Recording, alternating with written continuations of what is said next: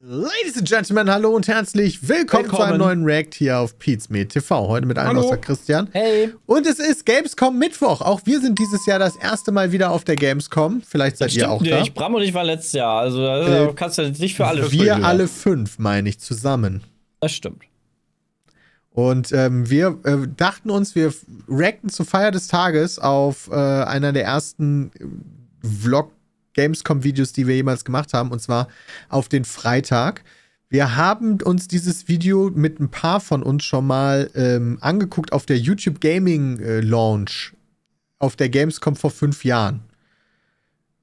Wir wollten das jetzt in guter Qualität. Da haben wir dann schon mal auch dieses Video hochgeladen.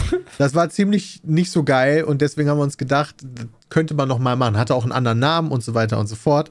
Ähm, deswegen dachten wir uns, das könnte man trotzdem noch mal wieder machen. Und zur Einstimmung zur Gamescom ist das doch schön. Genau. Ab dafür.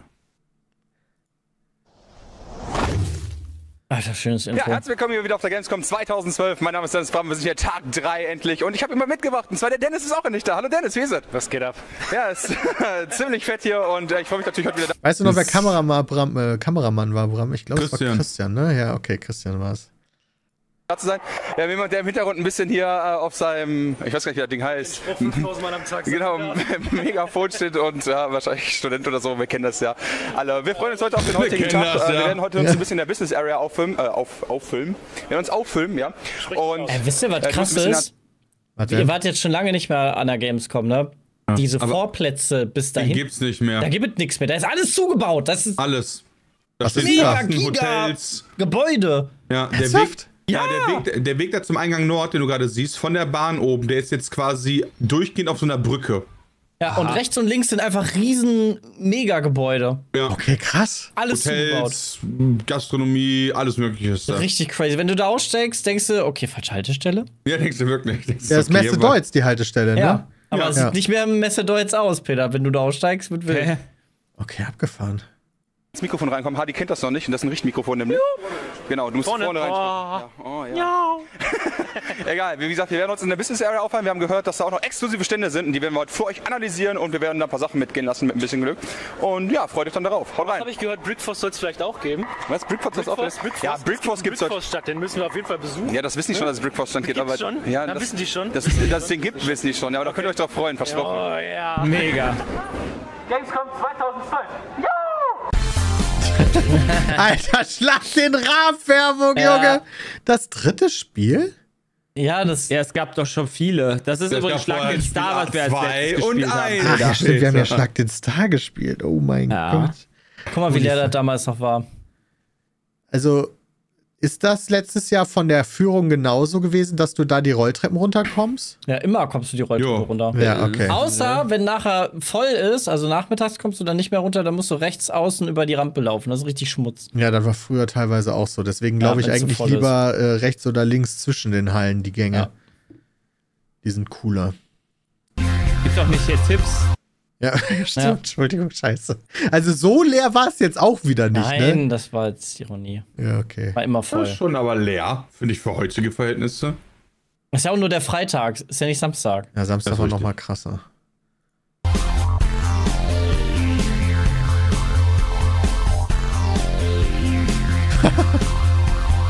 Scheiße. Ja, das ist ganz schön voll. Kannst einfach gehen, alles ist leer. Ja. ja. Solange du gehen kannst, ist es leer. Furchtbar leid. Super Mario. Ja. Darf, ich, darf, darf ich dich kurz interviewen? Wie ist denn? Peach gerettet? Peach gerettet, habe ich dabei? Ja, Peach ist gerettet. Und was mit Bowser passiert? Äh, haben wir, glaube ich, irgendwo verloren. Okay. Und Bruderherz, was ist mit dem los? Da draußen läuft er rum. Ach, der ist nicht voll am Sonnen, ja, während du den Job machst? Der ist nicht am Sonnen, genau. Ja, hammer geil. Und, äh, ob, weißt du doch. Ja, wie das heißt Hammer so geil. In irgendeinem großen Haus rum. Dann bist du auch nachher einmal die geilen Frauen. ich kenne eben noch keinen äh, jetzt Nintendo Time Erstmal komplett das voll ein Interview aus der Hölle. Oh Gott. Ja, ich, äh, weißt du, gib mir, gib mir ein Mikrofon und ab dafür, ne? Das stimmt. Und das schätze ich auch so an dir. Luigi rettet geile Prinzessin. Äh, nein, nein, maximal einmal Mario. Ja, genau. Ist, Mario macht das immer wieder. Finde ich ziemlich geil. Und welchen Teil findest du persönlich am besten? Äh, jetzt im Moment, ich bin am Sun, äh, Interessiert Sunshine eh keinen, seien wir ehrlich. Phrasen, Fragen. aber ansonsten 64. Ah, okay. Das ist der beste Teil bis jetzt. Finde ich ziemlich fett. Und ihr lauft jetzt rum für dann wahrscheinlich Wii U, oder? äh, gibt's ja hier nicht, aber... Ja, klar gibt's die. Wir haben die wie bei Ubisoft. Ohne Spaß. Ja? Ja. Haben sogar angespielt. Wir haben Beweisvideos davon, dass wir die U gespielt haben. Nicht schlecht. Nee, eigentlich einfach so. Wir kommen jedes Jahr im Kostüm her. Ach so, ihr seid quasi Cosplayer? Ja. Hammerfett. Das ist echt eine coole Sache. Also muss ich auch mal sagen, jetzt. Nee, ich auch. Nee, ich, also ich dachte jetzt echt, ich bin angestellt. Dachte ich jetzt auch nicht, nee. Ja, oh, das ist total abwegig, die, die, der Gedanke, ja, ich weiß. nee, ist aber hammerfett. Sehr viel Aufwand, finde ich ziemlich fett und vielen Dank fürs kurze Interview. Ist das eigentlich fett? das ist fett. Keiner wollte Basketball spielen. So kein Mensch da, Leute. Ich habe kurz das gedacht, Schlange. Ich habe kurz gedacht, Christian spielt gerade Basketball, aber da hat, er, da hat er ja natürlich ganz andere Haare gehabt. Ach so, oh mein Gott, ja, okay. Ja, der Kameraschock war das. Das war sein Game. Ja. ja, liebe Gamescom-Freunde, sind wir wieder und ich habe mir jemanden geschaut, zwar den Oh mein Gott, Under Serial, Junge! Holy shit! Blast from the past, Und Alter. ist auch im Hintergrund. Wo? Jo. Da rechts, auf der Schulter. Ja, auf der Schulter. Serial, vielleicht kennt ihn ja der eine oder andere von euch. Kennt natürlich jeder, selbstverständlich. Jetzt reden wir am besten noch weiter rein. Zahllücke. Gut gemacht, Bram, immer in die Kamera. In die Kamera gucken. Okay, also auf jeden Fall sind wir auf der Gamescom Übel. immer noch. Ja, und Anders Civil steht halt neben mir. Hi, Leute. Ja. Servus, Leute. Na, wie geht's euch? Ja, wir haben halt schon ein Battlefield-Video gemacht, das auf euch verweisen. Peter ist halt ein Wichser, wie wir alle wissen. und ja, jetzt natürlich mal die Frage, was machst du denn hier? Ja, keine Ahnung. Wir machen alle wahrscheinlich das Gleiche. Wir wollen spielen, spielen, spielen. Ja, und was ist bis jetzt dein äh, Messeknüller? Boah, Black Ops 2 fand ich ganz cool und Medal of Honor Warfighter fand ich auch richtig geil. Aber FIFA ist für, für mich der Knüller des Jahres. Also ich fand es so geil. Und die, obwohl die Veränderungen im Gegensatz zu 12, ja, also die sind natürlich mal nur wieder marginal, typisch EA, aber das reicht für dich trotzdem für den Knüller. Halt auch also einfach jedes Jahr sagen. ja. Das ist einfach 2012. So Änderungen sind marginal finde halt, EA e setzt zwar immer diese kleinen Akzente, aber ich zum Beispiel, ich finde es so geil. Die haben ähm, nur daran gedacht, jetzt ähm, an der Außenlinie diese Typen zu zeigen, die die Nummern zeigen. Sowas finde ich geil, wenn man auf so Details achtet. Ich finde es halt schade, dass EA nicht einfach sagt, die haben bestimmt irgendwo das perfekte Game und die hauen es aber einfach nicht raus. Aber meinst du, das quasi Absicht, dass die so Verbesserungen immer machen, weil so dumm kann keiner sein? das habe ich nie gesagt. aber ich denke mal, die wissen schon, was sie machen und die machen jedes Jahr ein gutes Spiel und ich würde es mir jedes Mal wiederholen. Und außer von EA noch irgendein geiles Spiel? Brickfrost zum Beispiel? Ist irgendwie ein Spiel, dazu kann ich wenig sagen. Es ist eigentlich gar nicht, gar nicht mein Genre. Also für mich, wie gesagt, ist eher Call of Duty, Battlefield, sowas ist die Schiene, die ich fahre. Die Black Ops äh, Präsentation hast du auch schon gesehen und auch angezockt? Ja, also Black Ops 2 habe ich zweimal angezockt. Einmal normal auf dem Pressetag und jetzt gestern. Und man kann aber wenig sagen zum Gameplay, weil äh, man musste erstmal fünf Minuten Klassen einstellen und wusste selber Weil, nicht, was ist gut, was ist toll hat gut funktioniert und hat auch Spaß gemacht, aber ich hoffe mal, dass wir nicht wieder nach zwei Monaten enttäuscht werden von irgendwelchen Server-Lags oder irgendwelchen Hackern. Also da habe ich keinen Bock drauf. Okay, ein bis jetzt lustigstes, Mess lustigstes Messeereignis? Ist das das ganze Video? Außer uns, uns treffen ja. jetzt hier und mit ja. ja. An das Serial-Interview? Mega. Ja, ja, nee, auch ungefähr 20 Sekunden noch. Aber von ihm hat man aber auch gar nichts mehr gehört, Also ich habe gerade mal geguckt, der, der ist noch auf YouTube aktiv und macht auch noch Videos zu Modern Warfare oder Battlefield oder so. Jetzt ein bisschen weniger. Ist sich treu geblieben. Aber äh, ist, könnt ihr mal vorbeigucken auf YouTube bei ihm. Oster lassen zu ragen. Ja.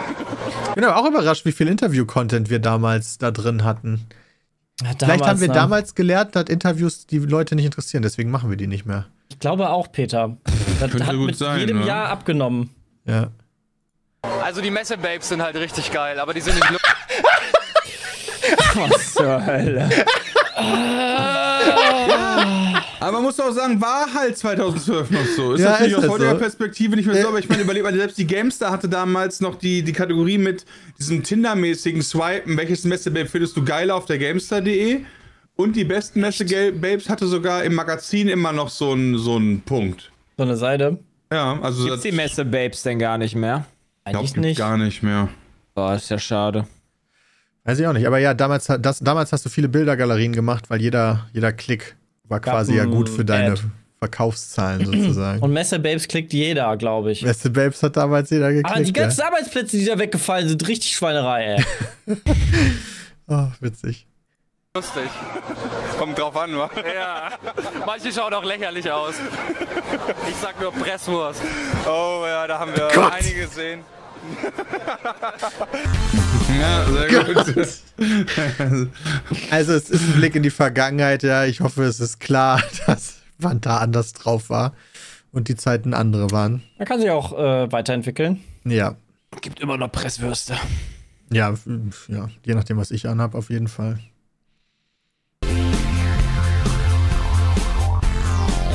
Oh, alle jetzt! Geil. Ist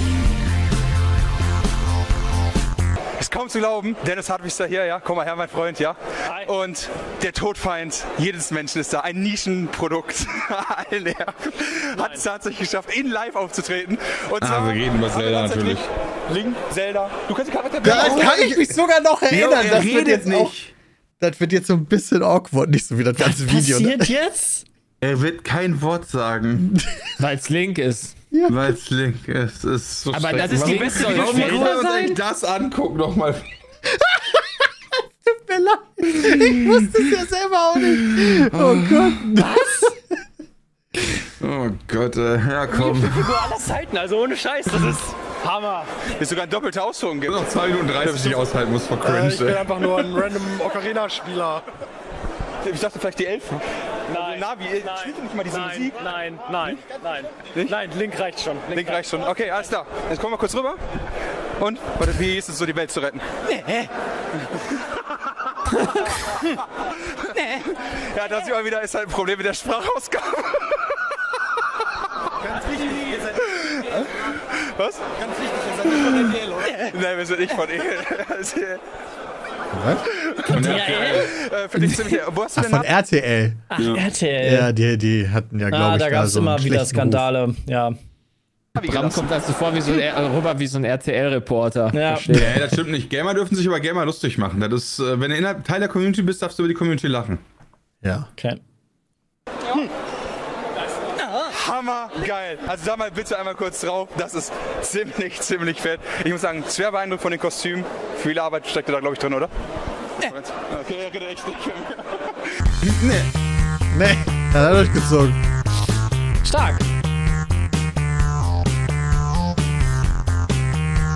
Okay, wen interviewen wir jetzt?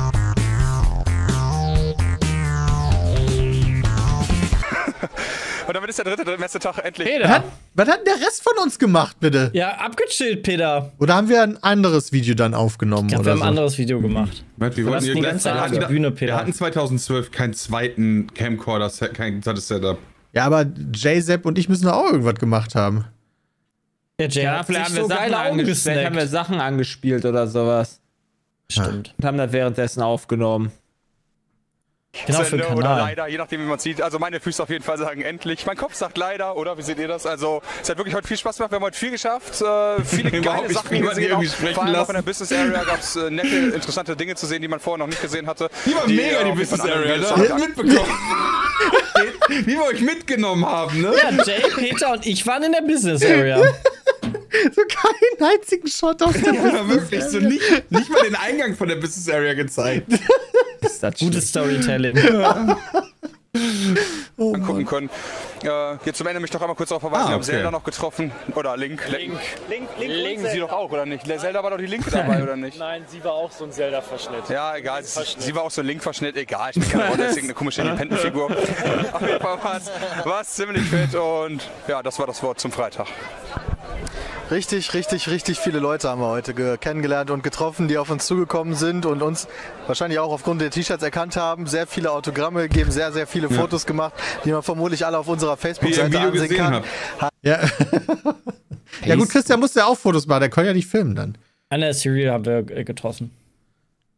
Hat richtig viel Spaß gemacht, auf jeden Fall. Ähm, und das war der Freitag. Morgen ist der Samstag. Da wird es nochmal eine ganze Stufe heftiger, glaube ich. Und äh, ich freue mich schon richtig drauf. Ich kann nicht mehr. Es war geil. Miau. Hadis erster Tag, ne? Wir alle anderen waren ja schon ein bisschen länger hier, aber ja, die Füße tun weh und hoffentlich kommen morgen noch mehr Fans und ich kaufe mir einen neuen Edding, damit ich auch endlich einen eigenen Edding habe und nicht immer alle fragen muss. ja, und damit verabschieden wir uns für heute. Bis morgen an diesem schönen Wochenende. Tschüss. Lange, aber Christian. Jay? Lange Abmods brauchten wir, aber haben wir damals auch schon gehabt, ey. Ja, können wir. Da sind nicht zum Punkt gekommen. Ich habe das ja damals geschnitten und ich muss sagen, da hätte ich auch einen besseren Job machen können. Nee, Warum Peter, du hast den besten Job gemacht, weil sonst wären wir jetzt heute nicht da, wo wir waren. Also sind. Aber da fallen damals auch noch nicht besser. Es ist halt qualitativ mittlerweile anders alles. Früher hat man auch noch Let's Plays geguckt, Peter. Das war der Zahn der Zeit. Ja. Aber warum habe ich drin gelassen, wie Bram mir erzählt, wir haben gerade Link getroffen, obwohl man vorher gesehen hat, wie die Link getroffen haben. Das war absolut. Nein, Peter, du hast einfach nicht geschnitten. Wir haben Start, Stopp gemacht und dann hast du hintereinander geschnitten. Hallo, ich da habe da schön Musik hintergelegt. Ich habe da voll viel gecuttet in der Nacht. ähm, ja, mal gucken, was wir für Videos dieses Jahr produzieren und ob wir dann in. Alter, lass richtig viele Interviews machen. Elf Jahren auch darauf reacten werden. Das wäre ganz schön witzig, muss ich sagen. Mm. Ja. ganz schön lustig, das Ganze. ah, ah, ah, nee, Vielleicht trifft Bram wieder süß. Link. Wir waren süße kleine Knuddelmäuse damals, was wir da für einen Quatsch gemacht haben. Ja. Ich, ich hoffe, ja. ihr hattet Spaß. Bis dahin, haut rein. Ja.